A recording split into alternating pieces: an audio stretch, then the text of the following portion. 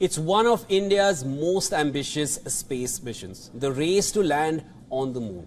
On Friday, India is set to make history, joining the elite space club of nations to land on the lunar surface.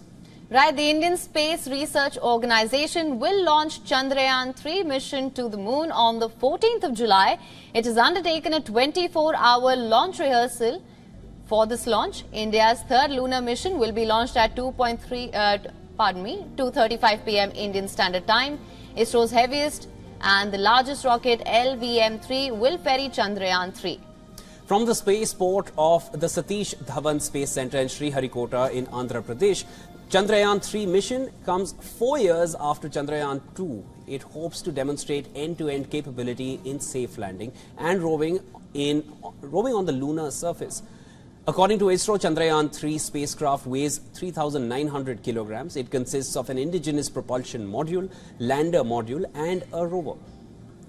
With an objective of developing and demonstrating new technologies required for interplanetary missions, it is expected to reach the moon at the end of August.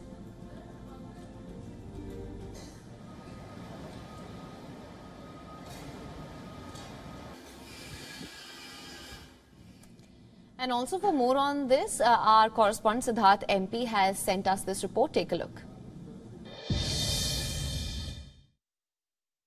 The Indian Space Agency ISRO has announced that they've successfully completed the launch rehearsal procedure ahead of the Chandrayaan 3 launch. Chandrayaan 3 is India's most ambitious and third lunar mission. Chandrayaan 3 is a mission that's scheduled to lift off at 14:35 hours or 2:35 p.m. India time on Friday 14th July. So what they've carried out now is a sort of full dress rehearsal ahead of the launch. What they do is that they simulate all the conditions that happen in the run up to the launch. So if there's a 24 hour countdown to the launch, they simulate that 24 hour countdown. They carry out a checkout or a final check, health check of all the systems on board the vehicle, the systems on board the satellite. They also simulate the process of filling the liquid fuels on board this rocket.